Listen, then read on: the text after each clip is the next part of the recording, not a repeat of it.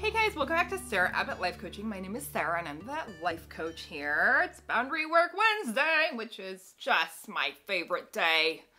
Boundaries are freedom, and it's one of the things I love to talk about the most and to teach about. Um, we are learning from the Boundaries book. It's literally the Bible of Boundaries, uh, Henry Cloud and John Townsend. So um, down and below in the description notes, I put a link. Grab that book. It will change your life. Okay, last week we were talking about sweet Sherri. Sherri has no boundaries. That's why we love her. There's so much to learn.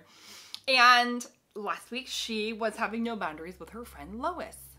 And Lois went on and on and on. She's a very needy friend. We all have people in our life who need us more than others, or they think they do. Um, and so anyway, what happened was Lois missed most of her lunch because she was willing to let Lois gab her ear off. And then she couldn't eat healthy because she only had like a couple minutes to come back to work. So she went and got fast food, which she didn't feel great about. And then she came back and like inhaled it and went back to work. Not the peaceful lunch any of us would hope for. Okay, so the question is, and we were at, we were talking about this in the comments and um, via email and, and on the Facebook page is like, what boundary could Sherri have set with Lois to take care of herself? See, what happens when we don't set boundaries is we self abandon. And so at some point, probably subconsciously, Sherri thought Lois's need to gab and vent and complain was more important than Sherri's need for a peaceful, healthy lunch hour during her workday. And I would argue it doesn't have to be either or. I believe that we can have boundaries that keep us balanced and keep our relationships balanced. How do you do that? You set a boundary, hold the boundary, and accept the relational consequences. Because the thing is, some people aren't going to like our boundaries. And we have to ask, are we worth their distress? And I would argue uh, 100% yes, you are. So just get, get your mind wrapped around that. Okay, I'm just going to present one possible boundary that Sherri could have set. She, A, didn't have to answer the phone when Lois called. I don't know if when they wrote this book, Sherri had call waiting, but we have call waiting now. And do you know that when you see somebody calling, you don't have to answer? That was an epiphany when I figured that out at the beginning of my boundary life. I was like, what? I don't even have to answer. Okay. Number one, Sherri could have just let it go to voicemail and talked to Lois when she had more time because she likes Lois, I think. Um, and but you know, there's not always now is not always the right time to talk to our friends or family or whoever. Okay. Other here's another boundary. She could have answered because maybe she didn't have call waiting. And Lois, oh, oh, I, oh, help me, help me. Complain, complain. And Sherri could have stopped and said, Lois, I would love to talk to you, but now's not a good time.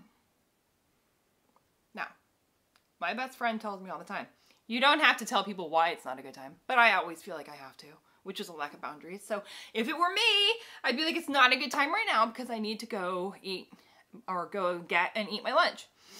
And you don't even have to tell them about the lunch. You could just say it's not a good time right now. That is a complete sentence. You know what else complete sentence? Can't talk right now. Okay, cool. So now we have two things Sherri could have done.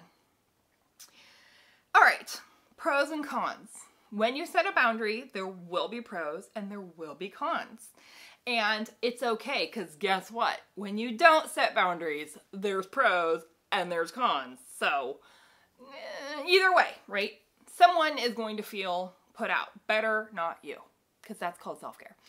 Okay, let's say Lois answers, oh, I'm sorry, it's not a good time. I need to go eat my lunch. But you know what? I'll call you back um, in the next couple days when I have a minute. Thanks, bye. Okay, pros.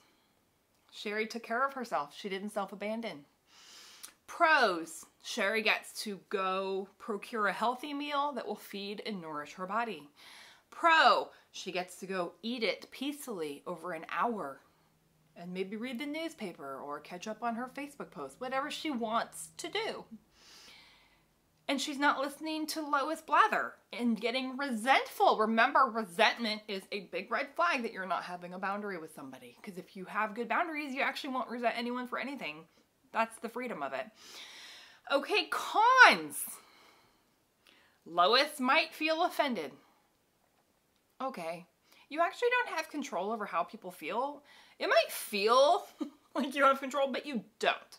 If if Sherri self abandons and lets Lois go on and on and on, she might think, "Oh, I'm I'm saving Lois from being mad at me."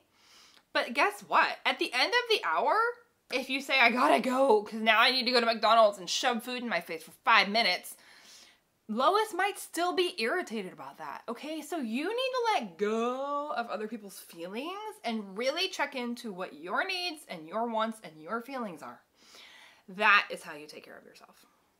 Come back next week. We're going to be talking about Sherri at work with her boss and how can she have boundaries? But can we have boundaries with our bosses? Mm, that's a good question. Thanks for joining us. I love Boundary Work Wednesdays. It is my favorite thing. And come back this Friday. We're going to be talking about how the Enneagram can change your life like it's changed mine. Take care. Make sure you subscribe so you never miss an episode.